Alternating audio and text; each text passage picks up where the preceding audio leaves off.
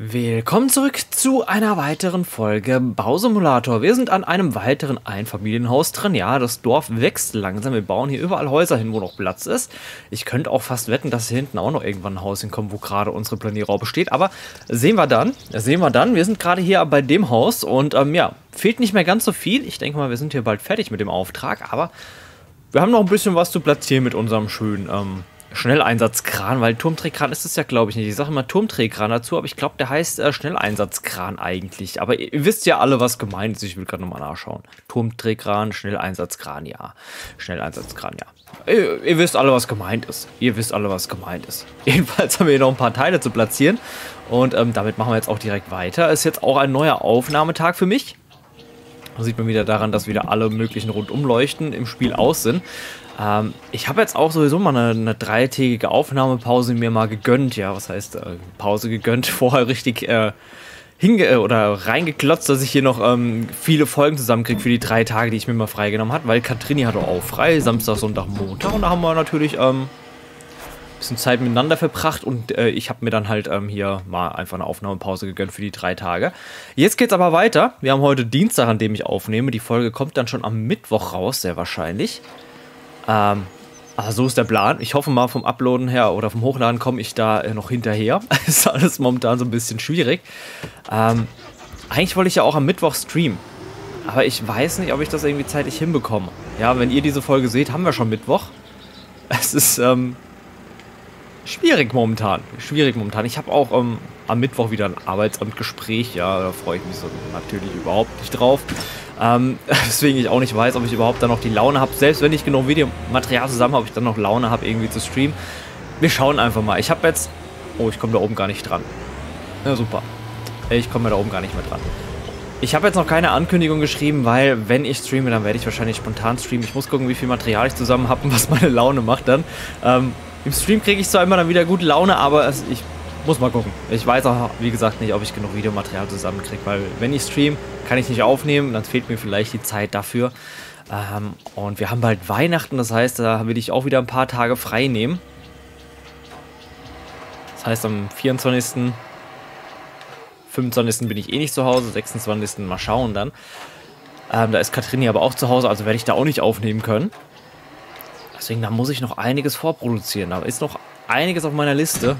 was ich gerne machen würde, damit ihr an Weihnachten ähm, euch nicht langweilt, falls ihr zu Hause seid oder vielleicht ähm, seid ihr auch nicht den ganzen Tag irgendwie bei der Familie, sondern nur abends, was weiß ich, und dann braucht ihr auch ein bisschen Beschäftigung. Oder? So ist es. Genau. Ja. Deswegen wird jetzt fleißig aufgenommen. Ich habe einen straffen äh, Tagesplan heute und morgen, wie gesagt, mal gucken. Vielleicht habe ich auch morgen nach dem Gespräch gar kein Interesse mehr irgendwie aufzunehmen oder keine Ahnung, vielleicht ähm, kriege ich ja irgendwas Blödes wieder vom Arbeitsamt aufgebrummt, was ich noch an dem Tag erledigen muss. Ich habe keine Ahnung. Ich habe keine Ahnung. So. Ich habe keine Ahnung. Wir fahren mal ein bisschen mit unserem Teleskoplader hier durch die Gegend. Ich liebe dieses Fahrzeug ja einfach abgöttig. So, ich finde es einfach klasse. Ich finde es einfach klasse. Ähm, gut, da haben wir noch die eine Palette drauf. Oh, falsche Taste. Ich wollte eigentlich Taste K drücken, aber habe es nicht gescheit gesehen wegen meinem Mikrofon. So.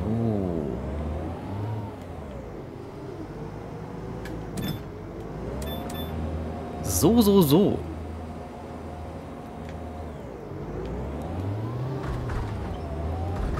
Ich habe immer gerade so die Paletten, wie ich das Spiel nicht haben will. Aber irgendwie, es akzeptiert es trotzdem immer. Es schnickt mich zwar ein bisschen arg durch die Gegend dann aber passt schon irgendwie. So, Paketdeckenelemente, Holzrahmen, die muss ich jetzt extra nochmal liefern, okay. Okay, okay, die habe ich noch nicht hier. Ja, fahren wir wieder mit dem LKW, würde ich sagen. Beziehungsweise fahren wir oder machen wir die Schnellreise hin? Ja, genau, das ist beim Sägewerk. Dann machen wir Schnellreise hin und fahren wir wieder zurück. So haben wir es ja auch, glaube ich, in den letzten Folgen gemacht. Schnellreise hin, Fahrt zurück. Ich hoffe, ich habe die wirklich jetzt noch nicht geliefert. Nicht, dass ich die schon wieder auf dem Grundstück stehen habe und ich weiß es nur einfach nicht mehr, weil Bausimulator nehme ich eben nicht ganz so oft auf. Ich nehme das meistens am Stück auf. Dann habe ich 4, 5, 6, 7 Folgen oder so. Dann wird das fleißig hochgeladen. Dann spiele ich 5, 6, 7 Tage halt kein Bausimulator mehr. Ähm, dadurch vergisst man halt sehr viel. so, sonst müsste ich jeden Tag aufnehmen und da habe ich irgendwie auch nicht so ähm, Lust eben drauf, jeden Tag Bausimulator stundenlang zu spielen. Das muss auch nicht sein eben. Aber gut, nach ich weiß nicht wie viele Stunden Bausimulatoren ist halt dann auch mal so ein bisschen die Interesse ein bisschen gedämpfter. Es macht zwar immer noch Spaß, aber ich spiele es halt dann meistens... Oh, Glückwunsch, du hast einen Meilenstein vollständig abgeschlossen. Das ist natürlich cool.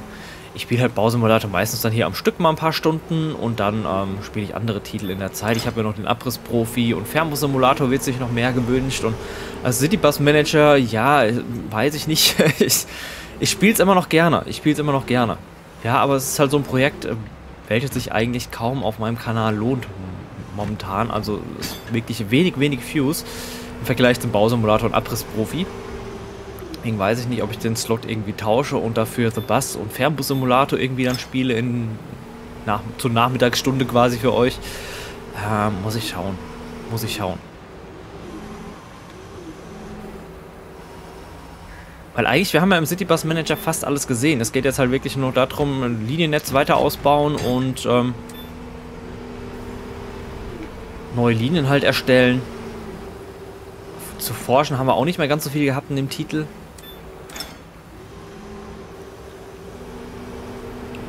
Deswegen ist halt jetzt an die meisten Folgen wahrscheinlich nur noch das Gleiche. Ich meine, wenn es euch gefällt, gerne weiter, aber ich bin mir da halt nicht so hundertprozentig sicher, ob es gefällt. Gerade wenn die Views halt nicht ganz so hoch sind, kann man das nicht gut rauslesen. Ähm, ansonsten würde ich nämlich bald mit dem Titel es so machen, dass ich erstmal warte mit dem Aufnehmen, weil ist ja ein Early Access Titel. Über Weihnachten wird halt jetzt nicht mehr wirklich was passieren. Die sind, glaube ich, schon im Weihnachtsurlaub. Die drei Brüder, die das programmiert haben. Aber dass wir dann halt im nächsten Jahr da wieder reinschauen, wenn es irgendwie Content-Updates gibt oder, oder, oder. Oder ich spiele es halt einfach die ganze Zeit weiter. Deswegen, ich weiß es halt nicht. Ich weiß halt. Ich spiele es eigentlich total gerne, aber ich weiß halt nicht, ob es so interessant noch ist im Let's Play dann. Ich nehme mir die Vorfahrt, ich bin der Größere. So.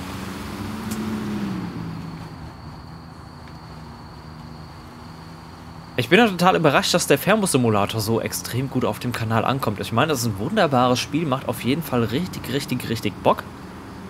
Ähm, mir macht sogar persönlich, muss ich sagen, mehr Bock als The Bus. The Bus ist zwar ein wunderbares Busspiel, aber da hast du halt ganz normale Stadtrouten, nur die du fährst. Ja, du eierst die ganze Zeit durch die Stadt, hast die ganze Zeit viel Verkehr um dich rum und hast einen extrem straffen Zeitplan. Im Fernbus-Simulator bist du halt viel auf Landstraßen und Autobahnen unterwegs und hast trotzdem noch dafür große ähm, Stadtgebiete. Das heißt, da ist alles schön gemischt drin. Du hast coole Busse dabei und, und, und. Ähm, Deswegen hat auf jeden Fall schon was. Ich finde deswegen, für mich persönlich ist das sogar ein bisschen interessanter als The Bus. Aktuell, ja, weil aktuell gibt es ja halt nur die Berliner Route für The Bus. Aber jetzt ähm, kommen ja langsam die Modding-Tools zum Vorschein und dann kann man natürlich auch neue Strecken, glaube ich, erstellen und neue Busse und so weiter und so fort. Ja, vielleicht wird dann auch mal die eine oder andere Überlandstrecke erstellt.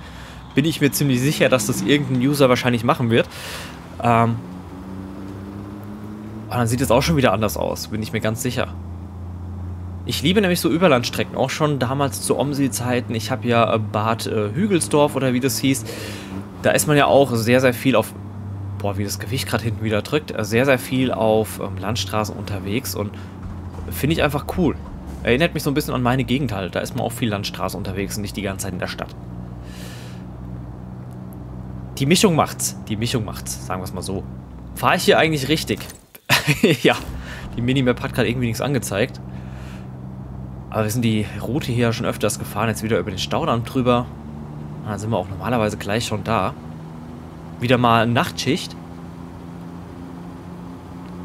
Fernbus Simulator ist halt die, die KI auch eine coole Sache, weil die einfach realistisch dumm ist. Die ist einfach realistisch dumm. Und äh, dadurch ist natürlich auch ganz cool. Klar, im, in The Bus ist ja auch realistisch dumm. Ja, aber das ist halt Stadtverkehr. Keine Ahnung, da finde ich es nicht so interessant wie jetzt äh, auf der Landstraße oder auf der Autobahn. Oder wenn man da plötzlich mit einem Stau rechnen muss oder Baustellen da sind, äh, finde ich schon wieder eine ganz andere Hausnummer. Ähm, da muss ich hin. Falsche Markierung. Ja, der Blitzer, wir kennen ihn ja schon. Ich weiß zwar nicht, warum ich da immer geblitzt werde. Ich hatte gerade nur 50 ungefähr drauf, aber der blitzt halt gerne. Vielleicht darf man hier auch nur 30 fahren, aber wen interessiert's? Wen interessiert, wenn man 10.946.176 auf dem Konto hat, interessiert einen doch kein Blitzer. Sind wir doch mal ehrlich. Selbst wenn du den Führer schon abgeben musst, mein Gott, dann lässt du dich halt mal ein paar Wochen lang chauffieren, ist doch scheißegal. Ja. Deswegen, da braucht man sich nicht wundern, dass so Millionäre irgendwie auf alle Gesetze und Regeln scheißen, weil, mein Gott, du hast nichts zu befürchten. Es ist halt wirklich so. Ähm, ja, ich habe natürlich hier alles wunderbar zugeparkt. Ah, erinnert mich so ein bisschen jetzt gerade an die Straße bei mir zu Hause. Dass ich ständig mit dem Auto durch so Sachen durchquetschen muss und dann kommen doch Autos entgegen, da muss man sich die ganze Route wieder rückwärts zurückquetschen. So, aber den muss ich jetzt mal wegfahren. Den muss ich jetzt mal wegfahren. Dass ich mich mit dem LKW da hinstellen kann, dann kann ich mit dem Kran das wahrscheinlich entladen. Wobei, es wird schwierig mit dem kleinen Kran da dran zu kommen, wenn ich so gerade drüber nachdenke. Aber ich versuche es auf jeden Fall. So, dann bin ich auf jeden Fall weit genug weg. Da bin ich auf jeden Fall weit genug weg. So. Wir müssten auch mal wieder im ETS so einen Schwertransport machen. Hätte ich auch mal wieder Bock drauf. Die finde ich halt in ETS richtig cool umgesetzt. Müssten wir auch eigentlich mal wieder reinschauen. Auf jeden Fall. Ich komme auch nicht auf die weiße Verladungsfläche drauf. Das ist halt auch ein bisschen blöd. Aber ich glaube so, da bin ich noch nicht in der hellblauen Markierung drin. Und mit dem Auflieger ziemlich weit an der Seite. Da komme ich halt leider nicht drauf. Das sind die Pylonen und da stehen andere Sachen davor, sonst würde ich da einfach drauf fahren. Aber wir haben hier unseren Schnelleinsatzkran. Ja, ich versuche mir jetzt mal anzugewöhnen, nicht mehr Turmdrehkran dazu zu sagen, sondern Schnelleinsatzkran. Wo da der Unterschied ist, keine Ahnung. Ich weiß nur, bei dem Turmdrehkran, da dreht sich der Turm nicht mit. Bei dem ganz großen. Da dreht sich ja nur oben der Kran quasi. Vielleicht ist das der Unterschied. Ich habe keine Ahnung, nicht vom Fach, weiß ich nicht. Keine Ahnung. Keine Ahnung.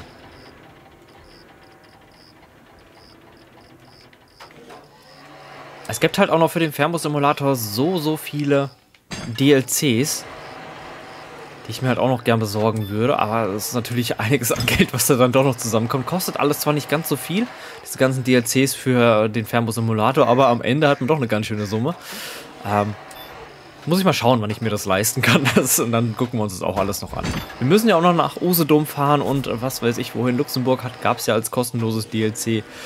Und ähm, was weiß ich, müssen wir auf jeden Fall nochmal schauen dann, dass wir da noch ein bisschen durch die Gegend kurven.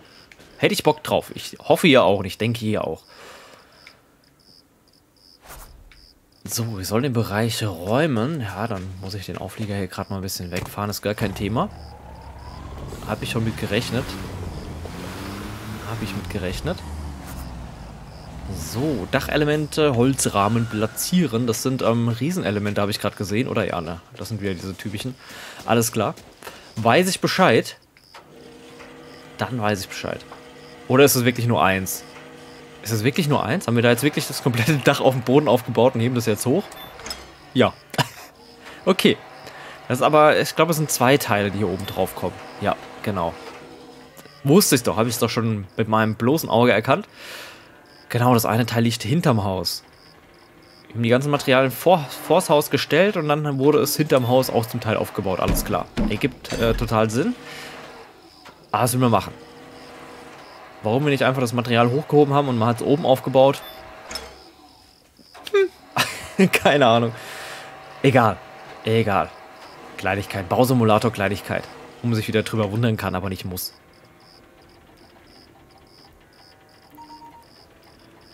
Tülülü und dann klingelt mein Handy wieder mal im Hintergrund. Das ist aber irgendwie immer so. Ich versuche zwar meistens dran zu denken, dass ich den Ton ausschalte. So, Ton wieder aus. Ähm, aber meistens vergesse ich es dann doch irgendwie. So, Übrigens gibt es auch ein kleines Update. Ich habe jetzt Insider-Informationen bekommen zu der Autobahn, wo ich in, vor ein paar Folgen erzählt habe, die neu gemacht wurde und jetzt in einem schlimmeren Zustand ist als vorher. Ähm, anscheinend war da irgendeine Maschine kaputt oder irgendwas hat mit dem Asphalt nicht gestimmt, mit der Mischung oder was weiß ich. Und deswegen hat sich alle vier Meter auf der Autobahn quasi eine Welle gebildet. Auf der linken Spur. Und jetzt rechnet euch mal, ich glaube, der Abschnitt ist so um die 5, 6 Kilometer lang. Und rechnet euch da jetzt alle vier Meter eine, eine Welle auf die Autobahn und dann fahrt da mal schnell drüber. Da könnt ihr euch denken, wie viele Wellen da drin sind und warum das Auto dann irgendwann sich so dermaßen aufschaukelt. Ähm, ja, die komplette Autobahn soll jetzt anscheinend nächstes Jahr nochmal abgefräst werden. Ähm, ich glaube, um die 50.000, 60.000 äh, Euro übernimmt dafür die Firma, die äh, die Baustelle neu gemacht hat. Und der Rest wird vom Steuerzahler bezahlt. Ja, ich denke mal, der Steuerzahler wird dafür wieder Hunderttausende hinblättern müssen. Ähm, für was, was eigentlich eine Firma verbockt hat. Mich wundert es ja, dass sowas irgendwie nicht vorher auffällt, ja. Ich meine, das sind 5, 6 Kilometer, die hast du ja nicht so schnell gemacht. Da muss man doch irgendwie zwischendrin mal kontrollieren, ob das passt, was man macht. Aber anscheinend nicht, aber ich würde, äh, ehrlich gesagt, als Unternehmen würde ich es genauso machen. Hätte ich es auch weiter und fertig gebaut und dann am Ende, ja, wir übernehmen 50, 60.000 Euro davon und dann muss der Staat mir nochmal 200, 300 Euro, 1000 Euro vielleicht bezahlen für den Rest. Habe ich ja im Endeffekt wieder Gewinn gemacht und habe einen weiteren Auftrag mir an Land gezogen dafür, dass ich Scheiße gebaut habe. Wie viel es am Ende wirklich kostet, keine Ahnung. Aber ich wechsle auf jeden Fall hier gerade mal auf den Morgen wieder. Aber ich kann mir nicht vorstellen, dass so eine Autobahnreparatur mit kompletter linker Spur abfräsen, ich weiß auch nicht, ob die rechte Spur nochmal mit abgefräst wird, ähm, dass das ein bisschen mehr kostet als 50.000 Euro. Ähm ich denke mal, da wird der Steuerzahler schon wieder ganz, ganz, ganz viel für hinblechen müssen, für irgendwie, ja, keine Ahnung, für irgendeine Kacke wieder. Aber gut. So, wir haben auf jeden Fall ein weiteres Haus hier abgeschlossen. Ich würde gerne in den Fotomodus wechseln. Ich finde es auf jeden Fall sehr interessant, wie mit Steuergeldern umgeschmissen wird. Aber wehe, man will als kleiner Bürger mal so ein bisschen Unterstützung vom Staat haben. das ist dann wieder eine ganz andere Sache. So, schönes Haus auf jeden Fall. Passt hier gut hin, finde ich. Ähm, obwohl es schon ein bisschen groß ist im Vergleich zu den anderen Häusern. Wobei hier auf der Seite geht es, auf der anderen Seite sind es mehr so kleine Bungalows. Ähm, ja, dann haben wir da auf jeden Fall einen weiteren Auftrag abgeschlossen. Wir hätten jetzt hier eine Verkehrsstraße, die wir reparieren sollen. Ähm, weiß ich aber nicht. Wir haben aber hier noch ein Ferienhaus und hier noch ein Hausanbau. Ich bin ja momentan voll so hier in Dorfstimmung. Ich hoffe, es stört euch nicht so arg, wenn ich jetzt hier das Dorf nur ausbaue. Aber wir haben halt gerade wirklich die Maschinen da. Wir haben die Maschinen da und außerdem finde ich es cool, man sieht, wie das Dorf immer mehr wächst. Und ähm, sowas hatte ich mir als TLC gewünscht, deswegen würde ich sagen, wir machen hier direkt mal weiter mit dem Ferienhaus. Es sieht schön groß aus, gefällt mir sehr. Auftragsumfang, lass mal wieder auf hoch, würde ich sagen. Geschätzter Gewinn, Gewinn wieder über eine halbe Million Euro. Dauer, ganze fünf Sanduhren. Ja, wir wissen ja, was das bedeutet.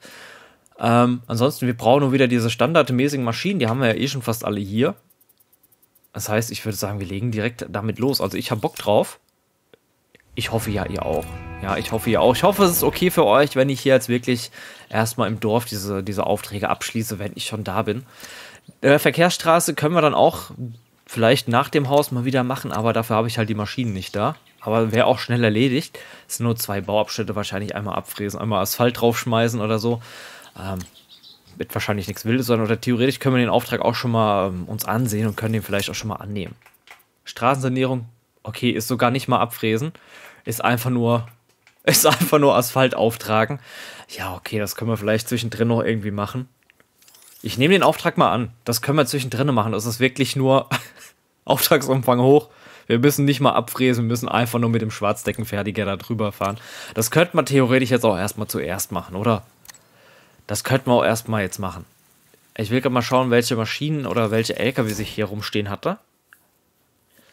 Auf dem Firmengelände. Ja, ich glaube, damit können wir den Schwarzdeckenfertiger sogar transportieren. Oder ist es der falsche? Das kann auch sein, dass es der falsche Auflieger ist. Ich, ich mache es gerade mal anders. Ähm, ähm, ähm, ich glaube, den hatten wir dafür, weil der hat die große, nicht ganz so steile Rampe. Den lagere ich gerade mal ein. Und lagere den gerade mal aus. Und dann tun wir den Schwarzdeckenfertiger gleich mal auslagern. Er müsste dann auch hier oben auf dem Firmengelände sein. Genau, da steht er. Ähm, LKW, ich weiß jetzt nicht, welcher LKW da vorgespannt war. Da hätte ich, ich hätte vielleicht doch die Schnellreise machen sollen, hätte den LKW gleich mitnehmen können, aber egal. Holen wir jetzt den schnell einfach mal her. Ich weiß nämlich nicht mehr, welcher da vorgespannt war. Der anscheinend, der steht nämlich so einzeln da rum.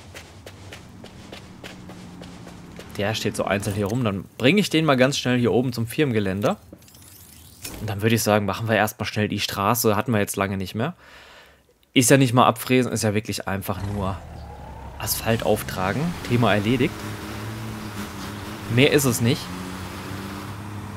Ich würde ich würd halt gern ähm, die Maschine dahin transportieren, dass wir das wenigstens dabei haben bei dem Auftrag.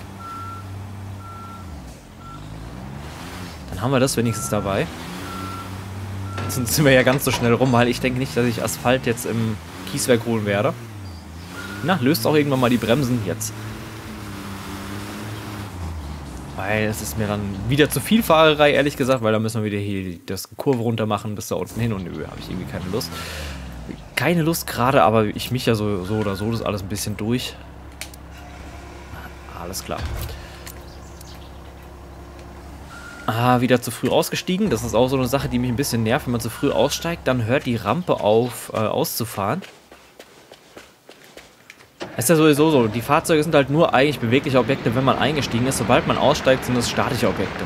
Kannst du rammen, wie du willst. Kannst du mit 500 Sachen mit deinem LKW dagegen fahren. Die stehen einfach bombenfest da. So.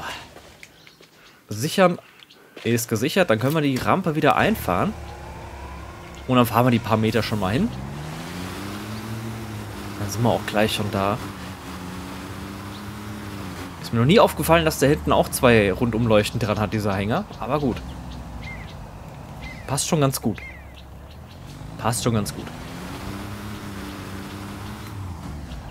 Ich bin total gern hier im Dorf unterwegs. Ich glaube, das merkt man. Ich glaube, das merkt man. Ich müsste vielleicht auch noch mal gucken, dass der Verkehr wieder durch die Dorfstraße durchfließen kann. Weil ich könnte mir denken, dass es sich da hinten vielleicht etwas stauen wird. So, die Person wird wahrscheinlich gleich unseren Auflieger durchlaufen. Nee, ich habe es gerade noch weggeschafft. Schöne Sache. Schöne Sache. Ja, ich hab's, ich hab's geahnt, dass sich da oben ein Stau bilden wird. Deswegen werde ich da jetzt gleich erstmal die Fahrzeuge ein bisschen zur Seite schaffen, damit sich dieses äh, Chaos hier nicht weiter fortbilden kann. Ja, ich habe hier halt alles wirklich mitten auf der Straße noch stehen, weil ich jetzt eigentlich gedacht habe, wir haben hier gleich einen weiteren Hausbau. Aber gut. Ist jetzt doch an anderer Stelle erstmal. Ähm, wo war denn der andere Auftrag? Der ist hier unten. Vielleicht kann... Okay, dann kann ich auch da vorne rumfahren. Ich wollte gerade wenden, weil ich gedacht habe, die andere Richtung ist schneller, aber nö. Dann fahren wir schon mal den Betonmischer zu der nächsten Hausbaustelle hin. Den werden wir da sicher brauchen. Den werden wir da sicher brauchen. Dass ich den Verkehrsstau da mal ein bisschen lösen kann bei der anderen Hausbaustelle. So, ich habe natürlich wieder so einen Wendekreis, der total bescheuert ist. Deswegen komme ich hier nicht um die Kurve, wenn der da steht. Ich verstehe halt nicht, warum das bei den Fahrzeugen so ist. Ich meine, klar, die sind ein bisschen länger als ähm, die europäischen oder typisch europäischen Fahrzeuge. Aber hier, der Betonmischer hat drei lenkende Achsen und irgendwie kommt man trotzdem total schlimm um Kurven. Total schlimm um Kurven. So, Blinker mal ausgemacht, den hatte ich leider noch an.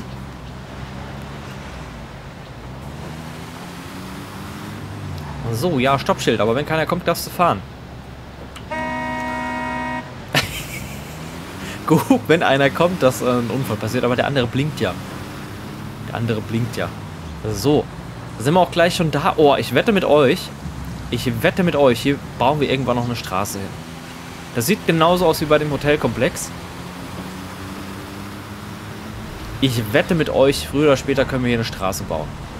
Okay, da hinten wird das Haus gebaut. Ja, das, also das bietet sich doch hundertprozentig an für noch einen Straßen, Straßenbauauftrag. Vielleicht wieder in fünf Abschnitten. Ich weiß es nicht. Aber das bietet sich doch auf jeden Fall an. So, dann springe ich gerade nochmal hier zurück zu irgendeinem unserer Fahrzeuge. Das Fahrzeug ist derzeit nicht verfügbar oder voll besetzt. Okay. Ich denke mal, der Bagger steht auf einem Auflieger drauf und ist gesichert und deswegen kann ich da wahrscheinlich nicht einsteigen. Ja, hier gibt es ja dann auch noch einen Hausbauauftrag, da bin ich mir auch ziemlich sicher. So, den müssen wir noch zur Seite schaffen und den Teleskoplader. Den können wir auch ah, per Schnellreise dahin. Dann bereiten wir quasi gerade einen Auftrag vor und den anderen arbeiten wir gleich ab. Ratzfatz. So, ich packe ein bisschen weiter hinten wegen der Palettengabel, nicht, dass noch jemand dran fährt. So, da kann ich wieder nicht rein, das ist das. Dann steige ich mal hier ein, dann fahren wir den LKW noch zur Seite.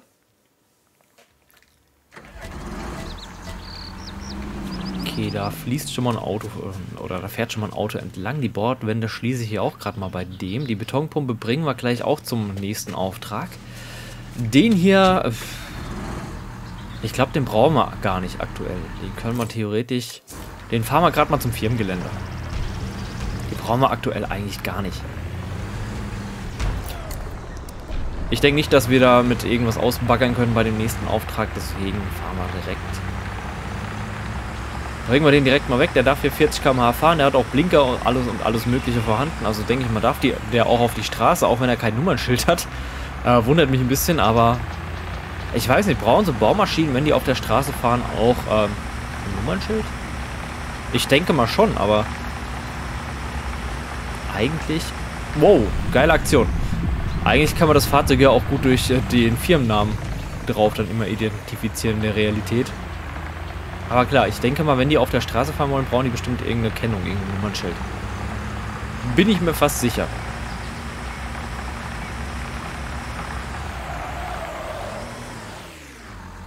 Aber bei, bei der Firma, wo ich gearbeitet habe, ist auch mal was Doofes passiert. Und zwar die eine Nachbarfirma quasi obendran, das war so Landschaftsgartenbau oder was weiß ich, die hatten bei der Firma neben uns, also bei einer Metallbaufirma, Zaunteile bestellt.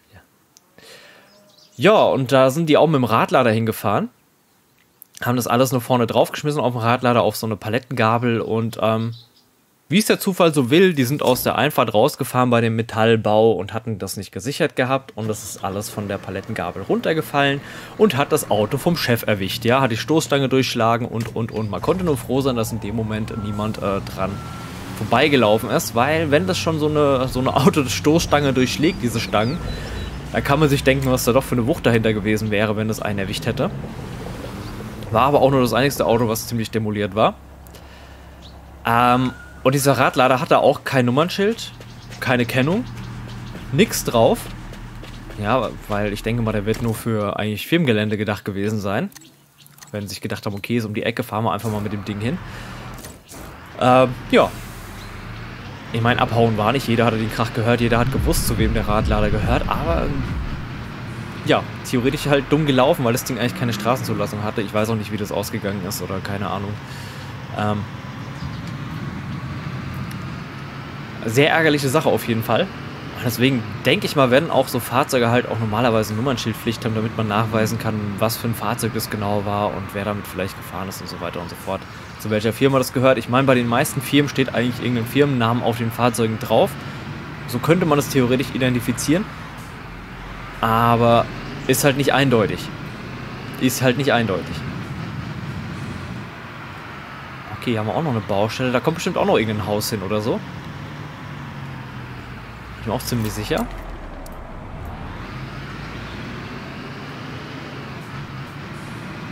So, dann haben wir das Fahrzeug auch schon mal da. Der blinkt links, warum auch immer, vor uns.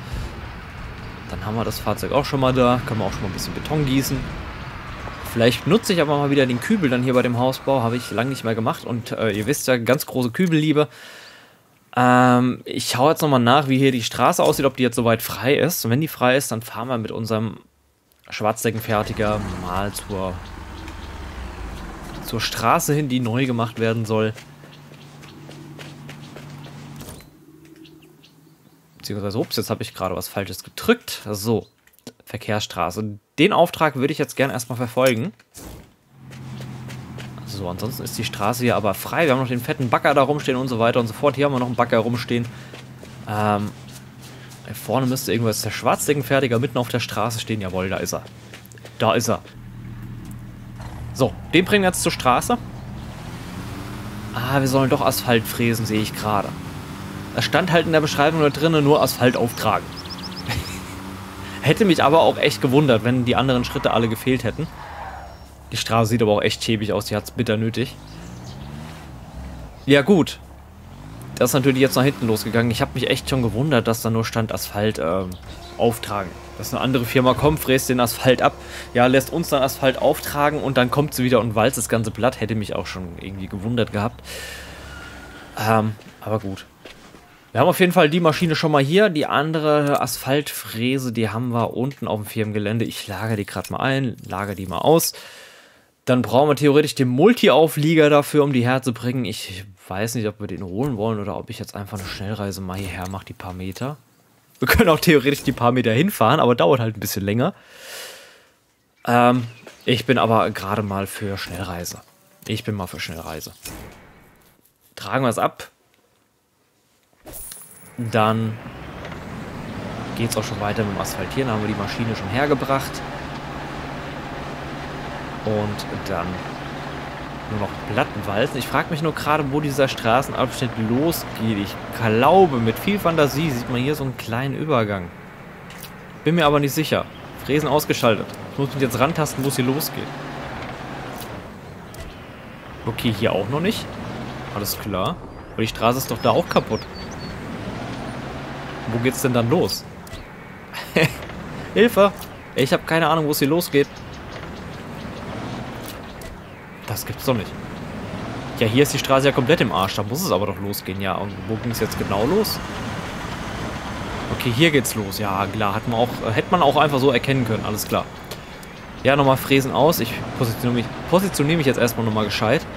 Ich finde es halt immer komisch, dass diese Straßenbauaufträge nie abgesichert sind. Ja, die Straßen sind immer frei befahrbar eigentlich. Ich meine, es fährt niemand entlang, das ist vom Spiel so geregelt.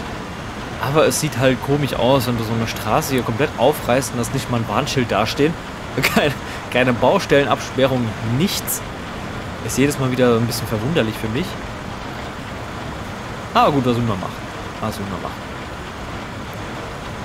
Was will man machen?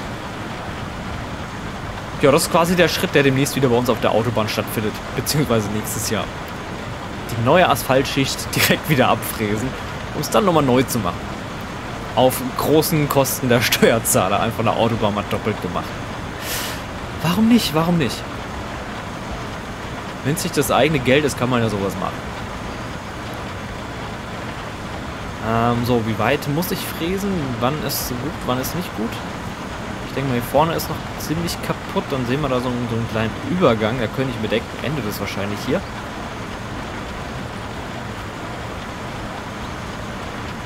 Ja, tatsächlich. Gut, ich würde aber sagen, wir machen in der nächsten Folge damit weiter. Ich hoffe, euch hat die Folge gefallen. Falls ja, lasst eine Bewertung da. Vergesst nicht, den Kanal zu abonnieren und gerne auch dem Discord-Server beitreten. Würde mich sehr, sehr, sehr freuen.